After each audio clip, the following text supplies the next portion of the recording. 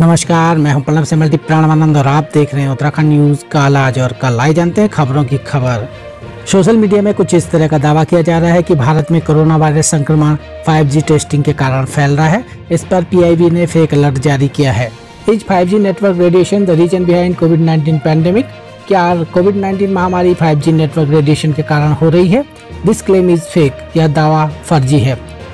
There is no relation between 5G and the spread of corona virus 5G और virus संक्रमण के बीच कोई संबंध नहीं है। The testing of the 5G network has not yet started anywhere in India Bharat में अभी कहीं भी 5G टेस्टिंग शुरू नहीं हुई है।